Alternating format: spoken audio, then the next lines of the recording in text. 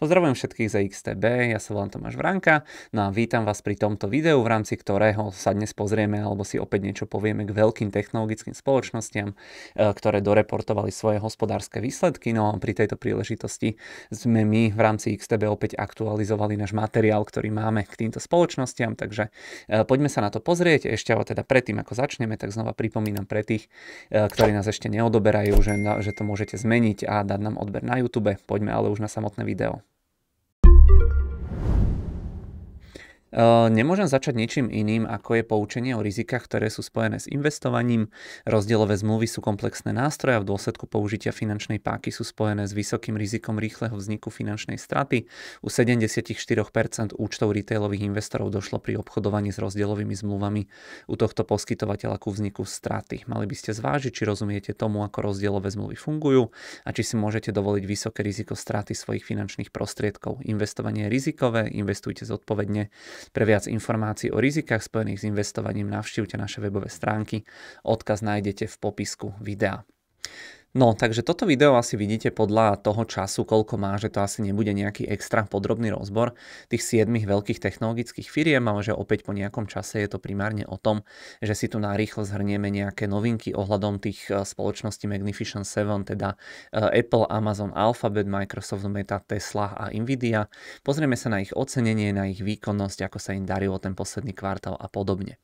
E, tým, že nám neustále pribúdajú stále aj noví klienti a ľudia, ktorí s tým investovaním začínajú, začínajú, tak robievam takéto video pravidelne raz za kvartál alebo aspoň raz za pol roka a to video je teda vždy spojené s e-bookom, ktorý máme k týmto spoločnostiam, e, kde je asi na 50 stránach popis tých firiem, ich základné čísla, vysvetlenie toho, čo robia, tých ich e, biznis modelov, ako sa im darí po tej finančnej stránke, je tam rozobraté ich ocenenie, e, nejaké prípadné rizika, ktorých je samozrejme tiež veľmi veľa, prípadné príležitosti.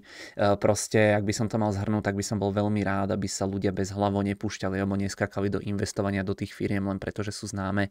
Aj keď napríklad ja osobne ich považujem za super, ale myslím si, že je určite dobré, eh, aby si človek najskôr podrobne načítal o tých spoločnostiach čo najviac informácií, eh, aby si prečítal aj o tých rizikách a prípadne aby vedel vyvodiť nejaký relevantný záver, na základe ktorého sa eh, dokáže rozhodnúť. No a myslím si, že práve v tomto vám určite dokáže pomôcť tento náš e-book, ku ktorému linky nechám v popisku tohto videa aj v prvom pripnutom komentári, aby ste si ho mohli stiahnuť. Ono to funguje tak, že ja som ten materiál spísal možno rok dozadu a každý kvartál ho aktualizujem u veci, e, ktoré sa udiali. Potom raz ročne plánujem robiť takú veľkú aktualizáciu, takže to platí aj naďalej. E, poďme si ale teda niečo povedať k tým firmám aj teraz krátke, pretože máme za sebou totiž výsledkovú sezónu, e, kde nám výsledky odreportovalo všetkých 7 firiem. Všeobecne si myslím, že bola tá výsledovka veľmi dobrá. Firmám veľmi pekne rástli tržby a zisky, no a hlavnou témou boli asi investície firiem do, najmä do tej internetovej infraštruktúry. Keď sa pozriete na tento obrázok, to sú teda tie capexy, eh, respektíve investičné výdavky daných spoločností. Sú to capexy týchto štyroch firiem, ktoré ich majú najväčšie. No a vidíte, že naozaj tie spoločnosti investujú kvartálne doslova desiatky miliard amerických dolárov a ročne doslova stovky miliard amerických dolárov. Takže tu sú čísla len tých štyroch najväčších. Amazon, Microsoft, eh, Alphabet a eh, Meta. No a tu vidíte, že za posledných 12 mesiacov tie firmy takto preinvestovali neuveriteľne neuveriteľných 199 miliard amerických dolárov, aby mali okrem iného aj tú kapacitu na prevádzkovanie tej umelej inteligencie. E, celkovo by som povedal, že firmám, ktorým sa darilo aj predtým, tak sa im v podstate darí aj teraz e, v rámci tej poslednej výsledkovej sezóny, e, sezóne, no a tým, ktorým sa darilo menej, napríklad Tesla aj Apple, tak tým sa darilo teraz o niečo lepšie, aj keď to asi stále nebolo úplne ideálne. E, uvidíme, ako to bude ďalej, ale dá sa povedať, že tie firmy už dlhodobo potvrdzujú, že sú proste dobré, e, že sú silné, aj keď teda zároveň samozrejme im stále pribúdajú rizika, napríklad v podobe regulačných tlakov alebo príchodu novej konkurencie a podobne. No a poďme teraz ešte v skratke na to, že ako sa konkrétne darilo tým spoločnostiam. E, v poslednej dobe začal by som tým Appleom, ten priniesol dobré výsledky na pomery tých posledných dvoch rokov, aj keď musel odpísať jednorazovo vysoký daňový nedoplatok. Microsoftu sa darilo tiež pekne, ale mal potom nejaké problémy s externými dodávateľmi pre cloud, takže vydali na ten aktuálny kvartál slabší výhľad. Microsoft ale pokračoval v tých veľkých investíciách, podobne ako Google, ktorému sa darilo zase veľmi pekne v reklame aj pri tom cloude. Tam prvýkrát sa prehúpol tržbami, myslím, cez 10 miliard a ziskom cez 2 miliardy, takže naozaj veľmi pekné čísla.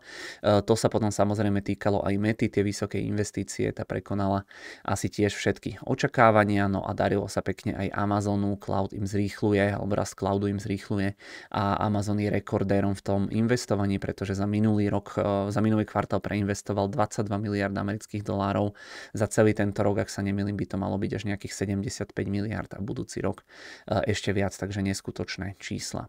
Potom sme sme tam mali aj Teslu, ktoré výsledky boli také zmiešané z toho môjho pohľadu, no a Nvidia to je firma, e, ktorej sa stále darí, e, hlavne teda z toho e, pohľadu, že ona predáva tým zvyšným spoločnosťam tie čipy na umelú inteligenciu. Takže ako sa hovorí, keď je zlatá horúčka, predávajte lopaty a krompáče, to 100% platí pri tej Nvidii. Celkovo by som ale teda tie výsledky zhrnul ako veľmi dobré, potom ak by vás to zaujímalo podrobnejšie, tak samozrejme zhrnutie výsledkov je v e-booku a robil som potom aj samostatné výsledky výsledkové videá na našom YouTube ku každej z tých spoločností na nejakých 10 až 15 minút.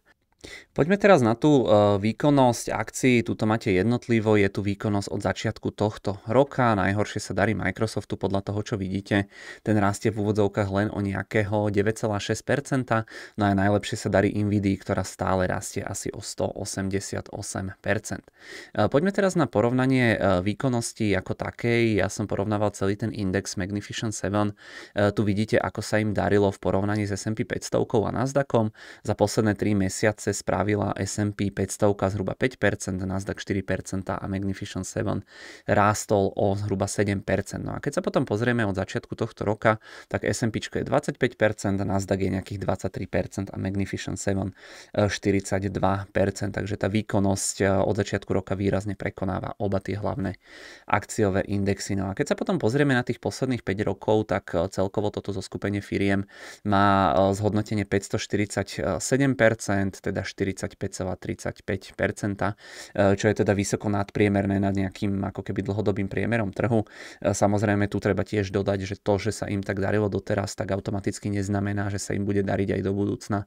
Tie firmy sú teraz ocenené relatívne vysoko, keď sa pozrieme na tú valuáciu, takže treba byť e, opatrný. No a ten posledný kvartál e, z hľadiska rastu akcií alebo celý tento rok bol pre tie firmy, ako sme si ukázali, pozitívny aj teda vďaka tým e, americkým voľbám, ktoré vystrelili akcie ešte vyššie.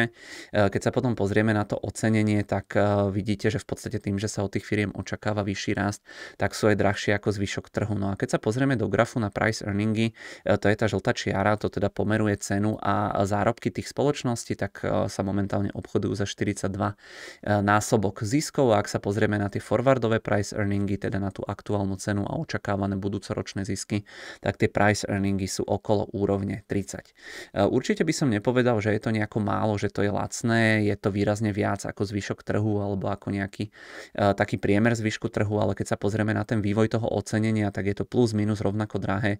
Sa dá povedať, ako to bolo možno rok, rok a pol dozadu, to znamená, že to ocenenie je plus minus stále nejaké podobné, e, takže nedá sa povedať, že by to bolo drahšie z tohto pohľadu price earningov alebo forwardových price earningov, e, ako to bolo pred časom a keď si to porovnáme napríklad s tými rokmi 2020-2021, tak tam vidíte, že to ocenenie bolo ešte výrazne vyššie ako je napríklad teraz, alebo nie možno až tak výrazne, ale o niečo vyššie ako teraz. Takže toľko nejaká tá aktuálna situácia, toľko nejaké veľmi krátke zhrnutie toho, ako to vyzeralo s tými spoločnosťami posledné mesiace, ale ako hovorím, celé toto video vzniklo vzniklo ako e, taká možno nejaká pozvánka, alebo ako to nazvať k tomu nášmu e, e-booku k týmto spoločnostiam. E, tam je to rozpísané podrobnejšie a viac, takže ako som spomínal, kto má záujem, nechám pod videom linky na bezplatnú registráciu. Myslím si, že pre nejakých starých investorov služobne, tak v zásade možno tam nebude až toľko tých nových informácií, ale najmä pre ľudí, ktorí začínajú, tak si myslím, že je to celkom v pohode materiál na to, aby vás to trošičku dostalo do toho deja. Za mňa na teraz všetko, ďakujem veľmi pekne za pozornosť No a my sa budeme určite ešte počuť pri nejakých ďalších videách.